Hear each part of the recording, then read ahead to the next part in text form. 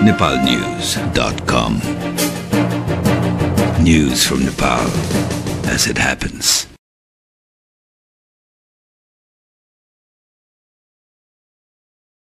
प्रमुख तीन दलबीच सहमतिको सरकार निर्माण गर्ने प्रयास असफल भएपछि अब नयाँ सरकार निर्माणको साँचो मधेसवादी दलहरूको हातमा पुगेको छ। एमाले माओवादी गठबन्धन वा काङ्ग्रेस माओवादी गठबन्धन सरकारको वातावरण नबन्ने निश्चित भएपछि बहुमतीय सरकार निर्माणका लागि सत्ता समीकरणको साँचो मधेसवादी दलको कोटमा पुगेको हो। कुनै बेला मधेस एजेन्डामा एकै ठाउँमा उभिएर आन्दोलन चर्काएका मधेसवादी दलहरू वर्तमान सरकार निर्माणका समयमा सत्ताका लागि नै गुट उपगुट र फुटसम्म पुगेका थिए। यसैबीच मङ्गलबार रिपोर्टर्स क्लब नेपालले गरेको साक्षात्कार कार्यक्रममा मधेसवादी दलहरूको एकै मत भएन। कसैले तीन दल असफल भएपछि मधेसवादी दलहरूले नै सरकारको नेतृत्व पाउनुपर्ने बताए भने कसैले माओवादीलाई सहयोग गर्ने त कोहीले काङ्ग्रेसलाई सहयोग गर्ने सङ्केत गरेका थिए। केही मधेसवादी दलले त मधेसी दलबाट नै प्रधानमन्त्रीका लागि उम्मेद्वार दिनुपर्ने धारणा पनि राखेका छन्। उहाँहरू पनि लोकतान्त्रिक पद्धति अन्तर्गतमै सबभन्दा ठुलो पार्टी नेपालको सबभन्दा ठुलो पार्टी भएको नाताले उहाँहरूले सबभन्दा बढी जिम्मेवारी ढङ्गले जानुपर्छ भन्ने कुराको बारेमा हाम्रो मान्यता हो। त्यसले गर्दाखेरि हाम्रो भनाइ के हो भने के हामीले उठाएका मुद्दाहरूको बारेमा माओवादी सकारात्मक भएको छ त्यसले गर्दाखेरि माओवादीले प्रथम ग्राह्यता भनेको माओवादीलाई हो हामी सुरुदेखि नै के भनिराखेका रहेछौँ भने यदि तिन पार्टीले सक्दैन भने सहमतिको विकल्प हामी पनि हुन सक्छौँ। मोर्चा मोर्चा पनि विकल्प हुन सक्छ।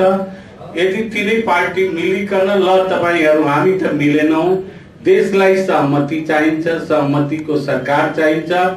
त्यसकारण मधेसीहरू अहिलेसम्म पनि प्रधानमन्त्री हिस्ट्रीमा भएकै छैन कार्यकारी प्रमुख भएकै छैन।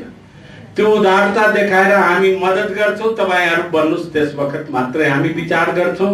किनकि उहाँहरूको निकास हुन सकेन भने मधेसवादी दलको उम्मेदवारीले देशलाई एउटा सहमति वातावरण बनाएर र शान्ति र संविधानलाई होइन एउटा समाधान गर्ने हिसाबमा जे चौध गतेसम्म त्यसको लागि यो उम्मेदवारी हुन्छ।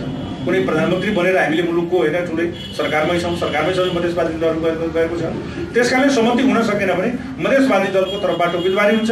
अब प्रगतिशील परिवर्तनकारी ताकतहरू खास गरी संविधान सभाको निर्वाचनबाट परिवर्तनका वाहकका रूपमा उब्रेका दुईवटा मूलभूत ताकतहरू मूलभूत राजनीतिक शक्तिहरू एउटा माओवादी र अर्को मधेसवादी र यसका कोलिसनमा जुन सामान्य दुइटैको सङ्ख्यालाई हेर्दा हेर्ने हो भने सामान्य बहुमतको अवस्थाभन्दा बढी बढी चाहिँ त्यो बहुमत पनि हुन्छ अथवा तिन सय एकभन्दा बढीको नम्बर पनि छ।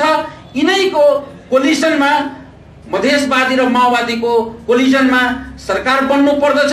सहमतिको सरकार निर्माण हुन नसकेपछि बहुमतको सरकार निर्माण हुने अवस्था सिर्जना भएपछि कुनै बेला माओवादीको खरो विरोधमा उत्रने मधेसवादी दलहरू माओवादीप्रति नरम रूपमा प्रस्तुत हुन थालेका छन्।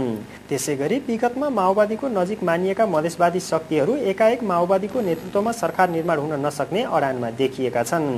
संसदमा भोलि प्रधानमन्त्रीका लागि उम्मेदवारी प्रस्ताव दर्ता हुँदैछ। पर्सीका लागि तय गरेको चुनावमा आफ्नो पक्षमा बहुमत पुर्याउनका लागि मधेसवादी दलहरूको समर्थन जुटाउन ठुला तीन दलले मनाउने प्रयास तीव्र पारेका छन्।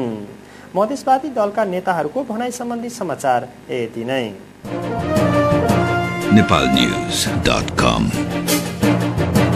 News from Nepal as it happens.